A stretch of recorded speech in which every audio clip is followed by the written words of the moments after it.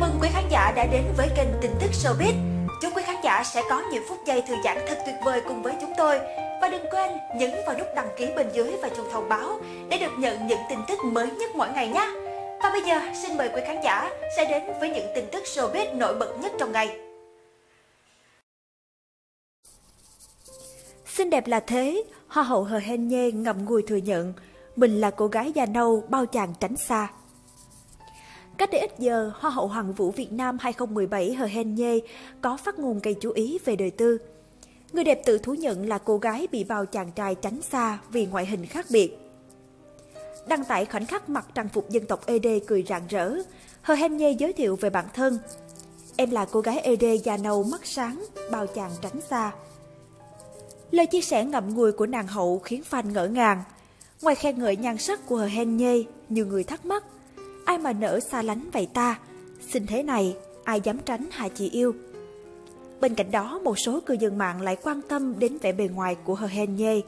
Họ nhận xét, Hen để tóc này nhìn giống mì sói trong phim Quỳnh Búp Bê. Đăng quang Hoa hậu Hoàng vũ Việt Nam 2017, Hờ Hen Nhê, cô gái dân tộc ED nổi đình nổi đám trong showbiz Việt. Xinh đẹp, tài năng và nổi tiếng. Ai cũng nghĩ người đẹp Tây Nguyên sẽ là đích ngắm của nhiều đại gia.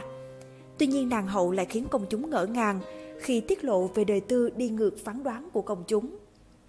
Khéo léo cho biết vẫn là trinh nữ, Hờ Hen Nhê cũng thật thà thú nhận trước truyền thông. Tôi khẳng định từ khi đăng quang đến nay, không có một đại gia nào nhắn tình tán tỉnh cả. Tôi muốn tất cả mọi thứ mình có được đều do mình tự cố gắng vươn lên.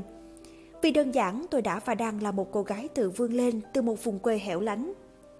Có được ngày hôm nay tôi rất hạnh phúc và tôi tin ngày mai của tôi sẽ còn đẹp hơn ngày hôm nay. Tôi không mong chờ ai đó mang ngày mai đến mà tự tôi sẽ đạt được.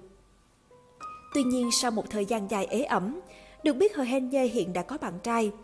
Cô xác nhận chuyện này sau thời điểm trở về từ cuộc thi Hoa hậu Hoàng vũ 2018. Người đẹp ED bật mí bạn trai hơn cô 3 tuổi. Hiện anh đang hoạt động trong lĩnh vực media, rất biết cách quan tâm đến cô và gia đình.